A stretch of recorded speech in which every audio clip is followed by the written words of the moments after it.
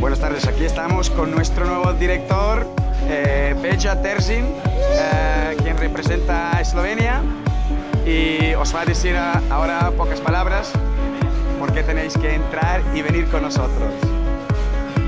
Here yeah? of course.